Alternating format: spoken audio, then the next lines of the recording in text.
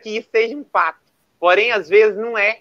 Porque a própria Lei Maria da Penha, ela foi criada por causa de uma mulher que ficou paraplégica a partir de uma violência doméstica.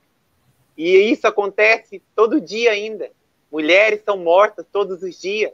Não só mulheres, porque quando a gente vai falar, a gente esquece que a gente vive numa sociedade hostil, que as pessoas tratam os animais como animais irracionais, esquecendo que o ser humano age de forma mais irracional do que os próprios animais.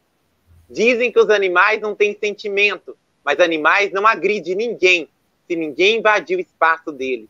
E os seres humanos agridem por bel prazer de ver os outros sofrer, de ver o outro triste, de ver o outro subjugado.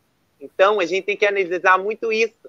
Os discursos são necessários, os exemplos são necessários.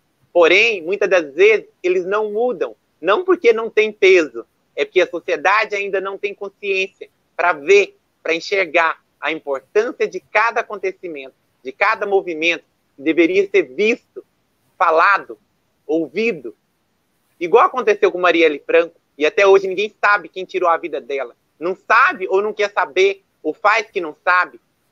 Mas ela era semente. E ela, como eu e como, muitas outras mulheres, somos semente. E ai daquele que tocar na gente, porque vai espalhar essa semente por todo o globo.